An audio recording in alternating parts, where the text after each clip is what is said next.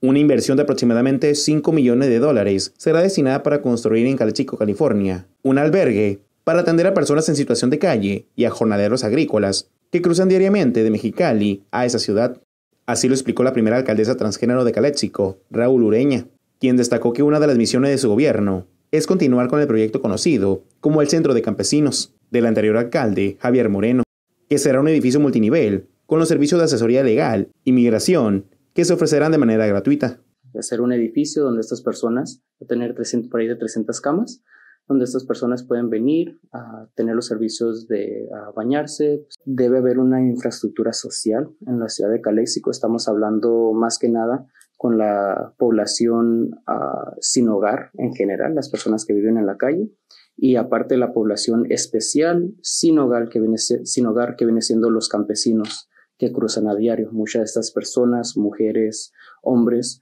uh, optan por las largas filas, cruzarse a, la, a medianoche, a la una de la mañana, ponen su cartoncito en la ciudad de Caléxico, se duermen por unas cuantas horas y luego se levantan cuando viene el camión a las 5 o 6 de la mañana.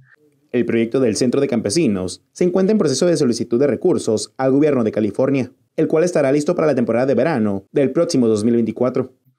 Ahorita estamos en colisión uh, directa con lo que es la Unión de Campesinos de César Chávez, uh, oficial, uh -huh. para ver dentro de este tramo de, del año que se va a construir este edificio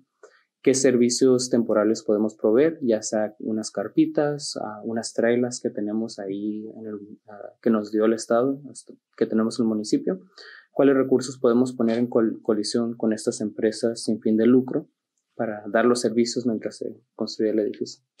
Dicho albergue contará con la colaboración de la constructora Gafcoff de San Diego, así como de los estudiantes de maestría en servicios sociales de la Universidad de San Diego quienes se encargarán de la labor de atender los casos de los trabajadores agrícolas. La alcaldesa señaló que han muerto muchas personas sin hogar en las últimas dos temporadas de verano por no tener refugio ante el calor extremo que se registra en Caléxico.